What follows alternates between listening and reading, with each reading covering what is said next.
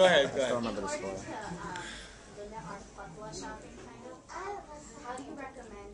Do you recommend? I've heard a lot of um, people wisdom say that we should um, just follow like uh, a scholar we trust that we have like somewhat of access to. Do you rec- recommend that as a good resolution to avoid fatwa shopping?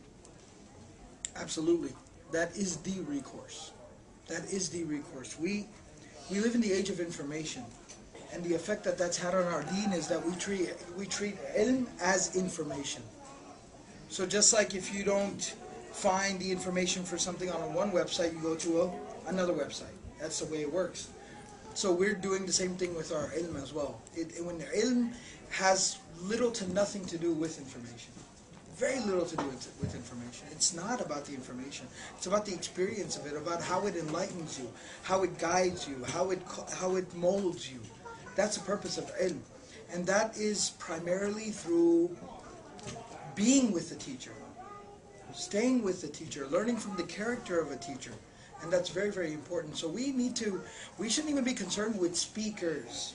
We need to be concerned with teachers. We need teachers, is what we need and we all need to become students. I tell everybody, uh, like what I said earlier in the Q&A session we had today, and that works both ways. Oh, we can't find any good teachers. I can point out plenty of good teachers that will tell you they couldn't find good students. Because when Imam Omar Suleiman and Brother Nouman Ali Khan came, everybody paid attention.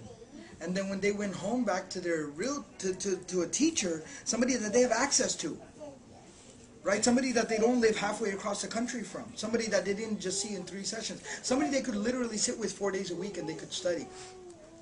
All right? Then they didn't care, they didn't pay attention.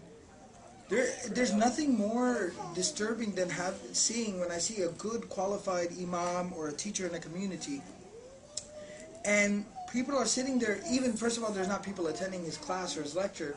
Even when they are attending they're not sitting there with a notebook and a pen and they're not taking notes. Act like a student. Develop the mentality of a student. It's very very very important. That's the first thing. And then second issue the second part of the remedy of that is what type of knowledge are we going after and are we seeking there's a hierarchy there's a priority a list of priorities in terms of what you seek knowledge about it begins with the book of allah the quran and the life of the Messenger. Not even so much as the text of hadith, but just seerah. We need seerah. We need the life of the Prophet. So first, in, firmly ground yourself in Quran and seerah. And the next step I would say would be the basic fiqh that you need to live your day-to-day life. But that's where that trusted teacher comes in. Like, how do I do this? How do I do that? You don't need to be concerned with different, what are the different madhahib on this? What are their evidences? What are their usul? What's the stronger opinion? In the in the in the brothers Q&A session, somebody asked me, "What's the stronger opinion about this?" I said, first thing, there is no such thing as a stronger opinion. There's either information or a lack thereof, but there is no such thing as a stronger opinion. Absolutely not. There are multiple practices of the Prophet and they all categorize as sunnah. Now, there is eventually something that's going to come along that is not right, but we'll never be able to make that distinction. You and I will never be able to tell, but that's wrong, because we're not qualified to do that. That's when we have to go to our teachers. And talking about that note of getting serious knowledge, you like to listen to speeches from Imam Omar Suleiman, Brother Nouman, Ustad Nouman, or even myself. The people that we learned from, you never heard their name ever before. They have no YouTube videos. They have zero hits on YouTube. they have no website. They ever think about that?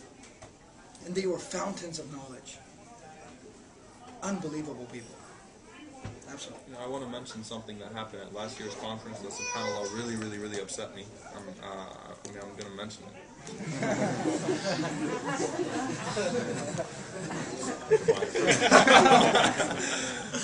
We've got a rematch in two hours. But anyway, um, so, you know, something that really upset me, subhanAllah, I remember this session. So it was myself and it was uh, Brother Wissam and it was Sheikh Muhammad Iqbal Nadwi. And Sheikh Muhammad Iqbal Nadwi, and I shared this with some of you, I was really upset that day. Sheikh Muhammad Iqbal Nadwi was in the middle of myself and Brother Wissam. And when I finished, people, when he got up while he was speaking, while he was starting his speech, the room cleared out. And then whenever people realized that Brother Wissam's turn was coming, the room was filling up again. And I was like, look, subhanAllah, we're just, I mean, seriously, compared to these guys, this guy's a PhD from Umm al-Qura. I'm a joke. I'm not a scholar. I'm not even a student of knowledge compared to this person. Neither is Brother Wissam, neither is Brother Nouman, and I, I know that he's, you know, he has no problem saying that. We are, we are not scholars here. You know, we're trying to just, just at least, I mean, at least the goal that, that I see from, from whenever we speak is that, inshallah ta'ala, you would take your knowledge more seriously and you would go learn from real scholars. You know, like you've got people like Dr. Salah, you've got people like Dr. Hatim al Hajj. Some of you guys have had Dr. Hatim al Hajj. We were having, you know, a conversation. Dr. Hatim is a PhD in fiqh and a physician, a genius, a genius of a scholar.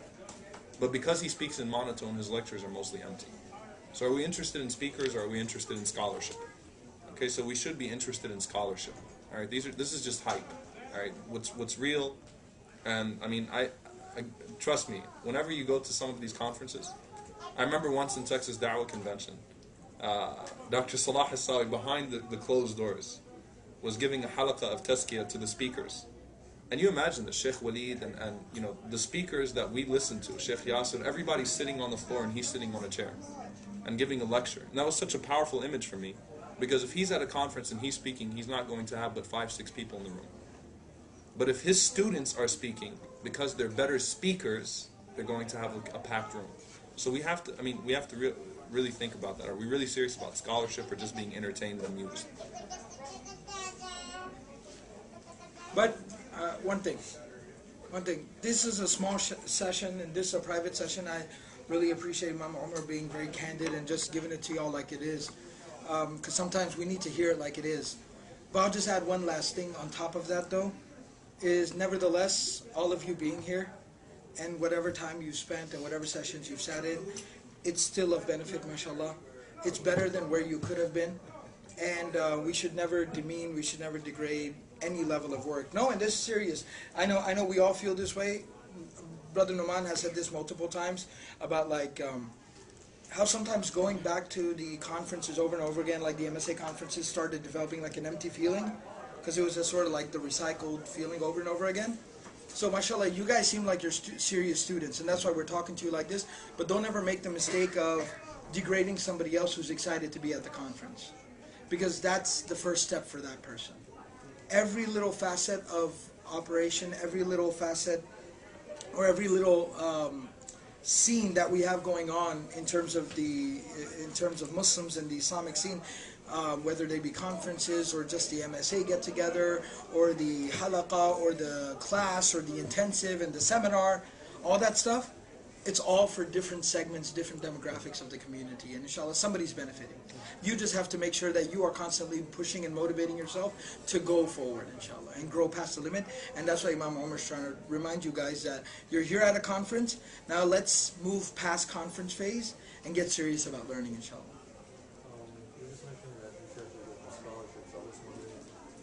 mentioning that you should go for scholarship um, as opposed to like this in hyper speakers. What to find scholarship? Um, where can we look? And what tools can we take to actually develop, develop that relationship with scholars and teachers that we start learning? I got one. Learn Arabic. I don't care where. I don't care how. You'll have access to scholars. Just take it seriously. If you're if you want to head down that path, fulfill the prerequisite. Yep. The key, op- the door opens up after the key.